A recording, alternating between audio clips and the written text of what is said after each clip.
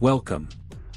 In this video we will talk about code P0279, its symptoms, causes and possible solutions. The P0279 trouble code is associated with cylinder 7 injector circuit low, indicating a low voltage condition in the circuit for the fuel injector in cylinder 7. This code is commonly found in vehicles with multiport fuel injection systems. Code symptoms P0279 1. Illuminated check engine or service engine soon light on the dashboard. 2. Poor engine performance in cylinder 7. 3. Rough idling or misfires in cylinder 7.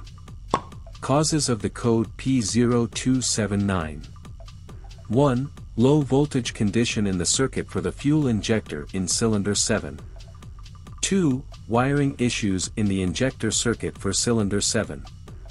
3. Faulty fuel injector in cylinder 7. Code Solutions P0279 1. Address and rectify any low voltage conditions in the circuit for the fuel injector in cylinder 7. 2. Inspect wiring in the injector circuit for cylinder 7 and repair or replace damaged sections. 3. If the fuel injector in cylinder 7 is faulty, replace it.